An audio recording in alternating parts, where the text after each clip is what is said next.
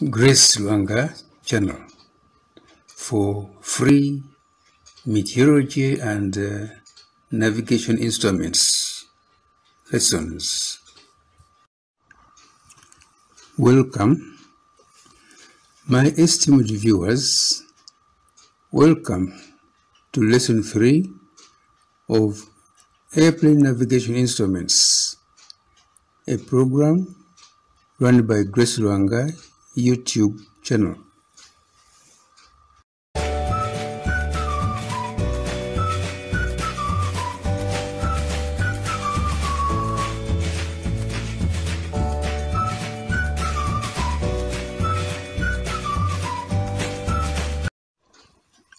Grace Lwanga. For those watching for the first time, my name is Grace Lwanga, and my profile has already been given in lesson 1 presentation. As a reminder, in lesson 2, we were looking at earth rate, a subtopic of instruments topic.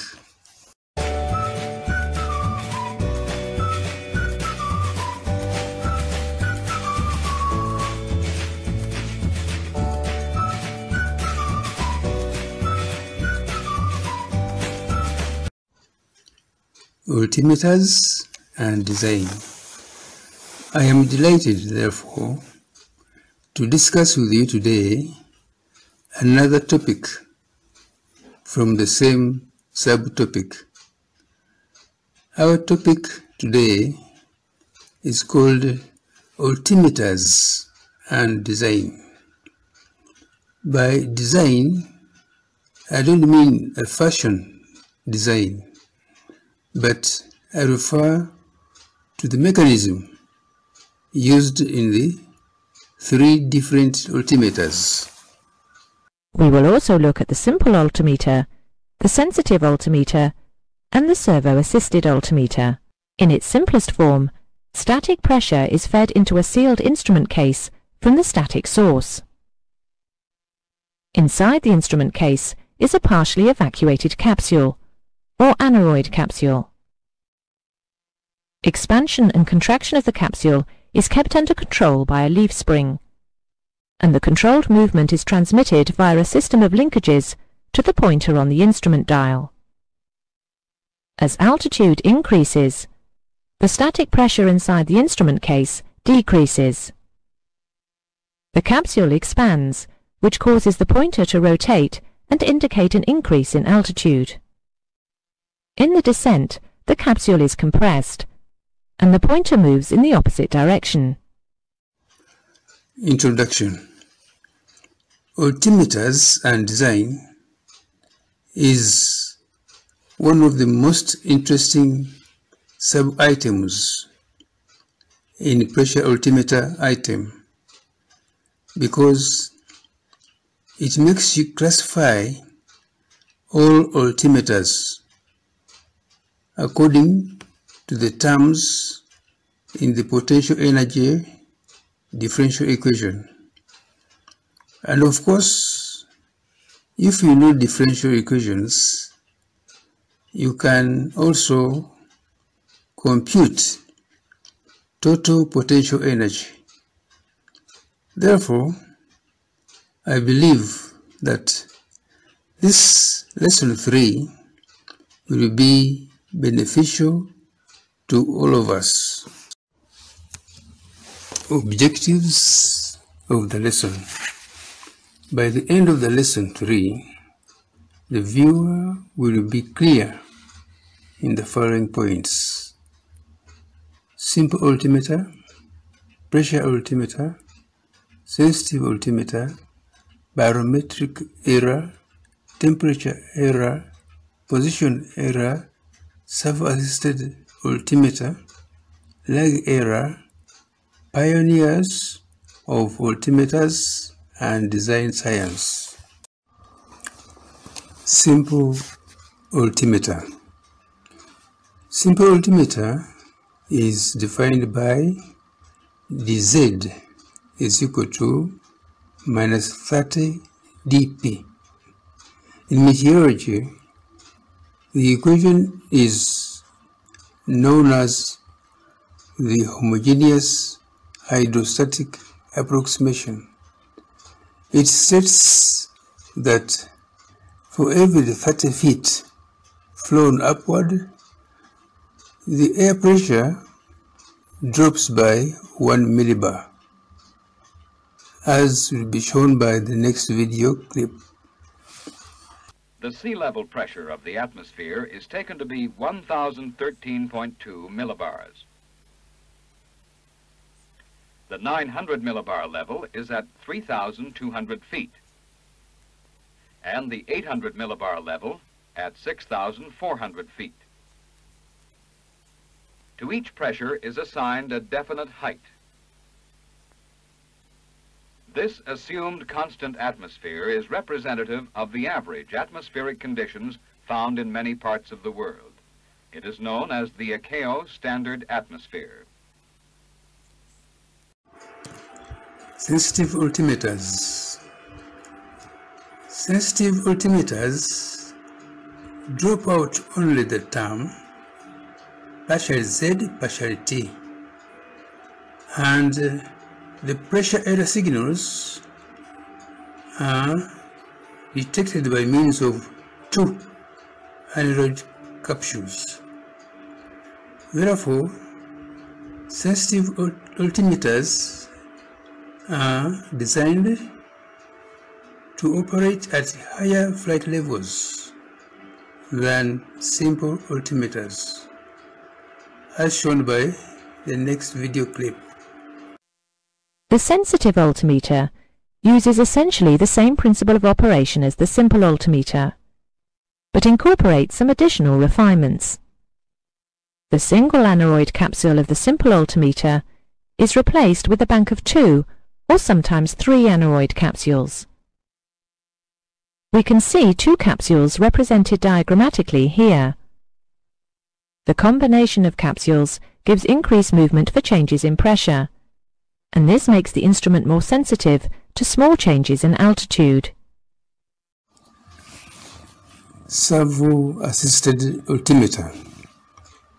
Servo-assisted altimeters do not drop out any energy term. Small terms like uh, partial Z, partial T can be detected by means of an electronic circuit. Therefore, servo-assisted altimeters are designed to operate at higher flight levels than sensitive altimeters, as shown by the next video clip.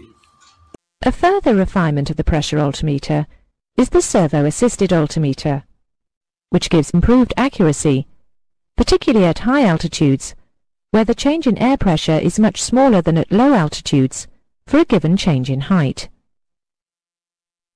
The principle of the servo-assisted altimeter is that direct mechanical linkage between the aneroid capsules and the pointer is replaced with an electromagnetic system.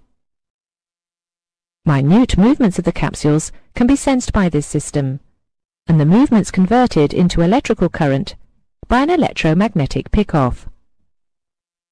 The electric current generated is amplified and used to drive a servo motor which rotates the pointer. We can see here in diagrammatic form how this is achieved. Applications of the simple altimeter errors. The term bracket minus 30 dP bracket is called pressure error and it is also recognized as the biggest energy term in the differential equation. Simple altimeters, therefore, drop out all the weak terms of the energy equation. Pressure error signals are detected by means of only one aneroid capsule. In practice, the weak terms are not absolutely weak, but relatively weak. The instrument maximum performance level is only 20,000 feet above ground, as shown by the next two video clips. Firstly, that mean sea level pressure is 1013.25 millibars or hectopascals, and the temperature is plus 15 degrees Celsius while the air density is 1,225 grams per cubic metre. Secondly, that from mean sea level up to 36,090 feet, or 11 kilometres, temperature is assumed to reduce by 1.98 degrees Celsius per thousand feet, or 6.5 degrees Celsius per kilometre. The International Standard Atmosphere looks something like this. On the x-axis, we have the ratio of value at altitude to value at sea level, and on the y-axis, we have altitude. As you can see, temperature varies linearly up to the tropopause at about 36,000 feet, then remains constant until well above the cruise altitude of most aircraft, then increases and decreases again as you reach space. Density and pressure vary exponentially with altitude. As you can see, there's a huge difference between the density and pressure at sea level and the density of pressure at cruise altitude for jet aircraft. Barometric error. In meteorology, the barometric error is known as the cross isobaric flow. The application implies that when a pilot overflies a region of low pressure, the altimeter overreads and vice versa, as shown by the next video clip. This next example, when the aircraft is flying from high pressure to low pressure, without adjusting the altimeter setting, where does the altimeter think it is if you're traveling from high pressure to lower pressure? Right, since lower pressure air is higher, the altimeter thinks that it's climbing, and if the pilot did nothing, the altimeter would display a higher altitude. We'll just say, again, 7,200 feet. Slowly, the pilot will descend to maintain the same indicated altitude of 7,000 feet. Without changing the altimeter setting to adjust for this difference in air pressure, the pilot would gradually descend to maintain an indicated altitude of 7,000 feet. This would mean the pilot is now flying 200 feet lower than desired. The aircraft's true altitude the altitude above mean sea level will be lower than indicated. Hence the term, again, high to low, look out below. Now, imagine the aircraft is flying from low pressure to a higher pressure. Without adjusting the altimeter setting, where does the altimeter think it is if you're traveling from low pressure to higher pressure? Right, since higher pressure is lower, the altimeter thinks that it's descending and if the pilot did nothing, the altimeter would display a lower altitude, we'll just say 6,800 feet. Slowly though, the pilot will climb to maintain the same indicated altitude in the cockpit of 7,000 feet. Without changing the altimeter setting to adjust for this difference in air pressure, the pilot would gradually climb to maintain an indicated altitude of 7,000 feet. This would mean the pilot is now flying 200 feet higher than desired. The aircraft's true altitude, the altitude above mean sea level will be higher than indicated. Temperature error. In meteorology, the temperature error states that when a warm air mass moves into a cold region, it ascends. In air navigation, the application implies that when a pilot flies from a warm to adjacent cold place, the altimeter overreads and vice versa, as shown by the next video clip. Let's start when the aircraft is flying from warm air to cold air. Without adjusting the altimeter setting, where does the altimeter think it is if you're traveling from warm air to cold air? Since cold air is higher, the altimeter thinks it's climbing, and if the pilot did nothing, the altimeter will display a higher altitude. We will just say 7,200 feet. Without changing the altimeter setting to adjust for this difference in air temperature, the pilot would gradually descend to maintain an indicated altitude of 7,000 feet. This would mean the pilot is now flying 200 feet lower than desired. The aircraft's true altitude, the altitude above mean sea level, will be lower than indicated, hence the term high to low, lookout below. In this next example, when the aircraft is flying from cold air to warm air, without adjusting the altimeter setting, where does the altimeter think it is if you're traveling from cold air to warm air? Since warmer air is lower, the altimeter thinks that it's descending, and if the pilot did nothing, the altimeter will display a lower altitude. We'll just say 6,800 feet. Slowly, the pilot will climb to maintain the same indicated altitude of 7,000 feet. Without changing the altimeter setting, to adjust for this difference in the air temperature, the pilot would gradually climb to maintain an indicated altitude of 7,000 feet.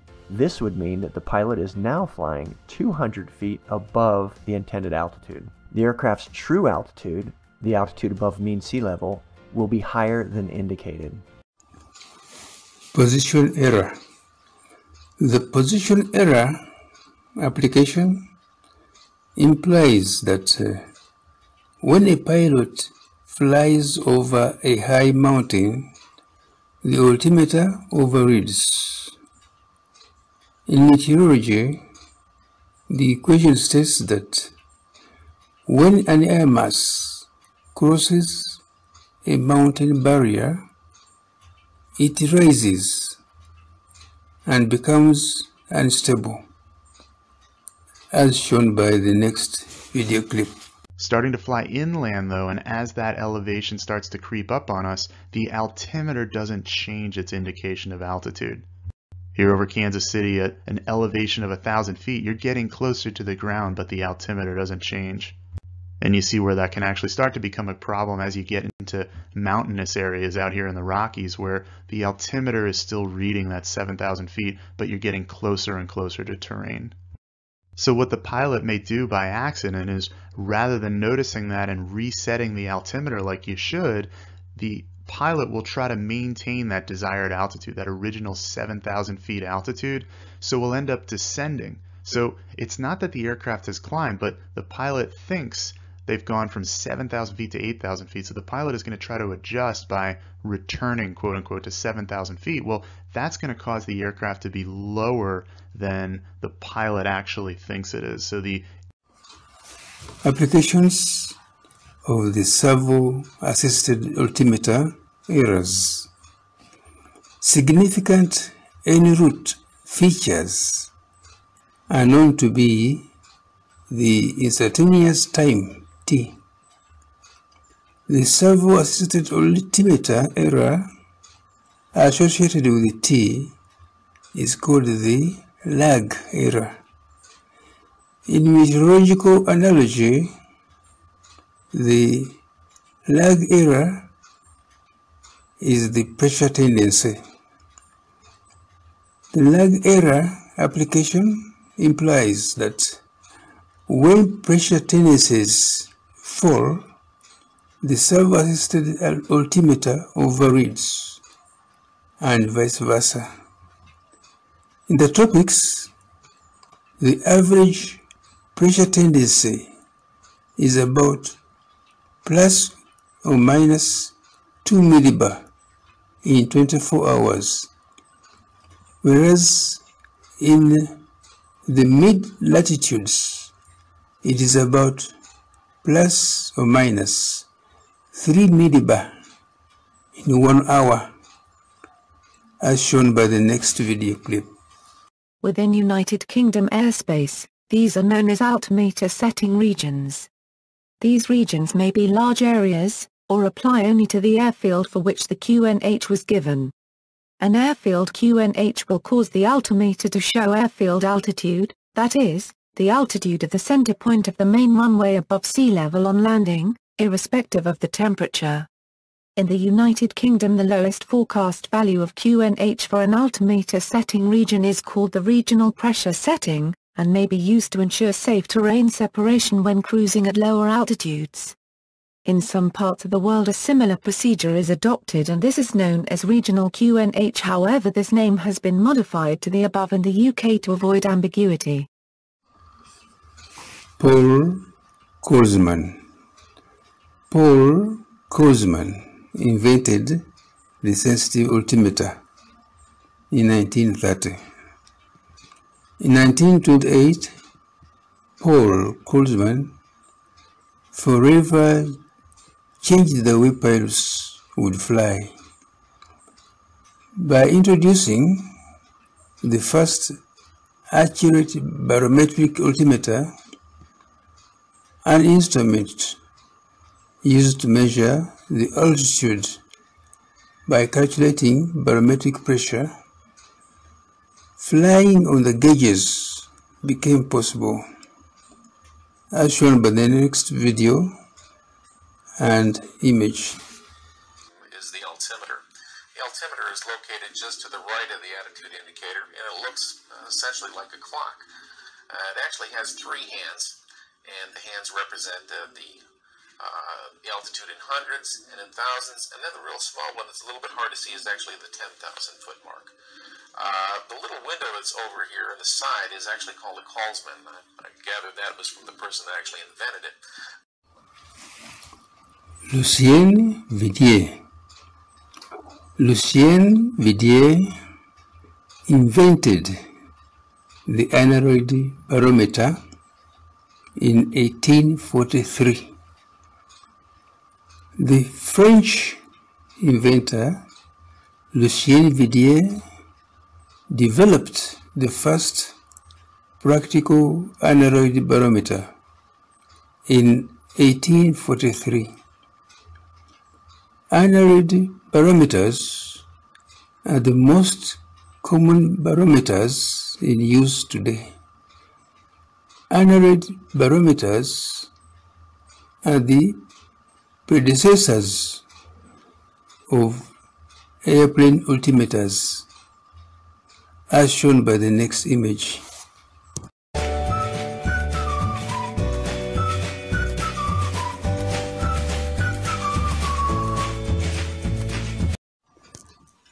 Time. Viewers, because of time, the general altimeters and design theory cannot be covered here, but it is available in a book. Meteorology for Airplane Navigation Instruments by Grace Lwanga. Many thanks to all of you who have uh, shared your video and sound clips with me in order to make the lesson a success. Meanwhile, if you have any message, you can send me an email or SMS. I am always available 24-7. Subscribe and benefit more from our channel. As I look forward to meeting you, I beg to stop here.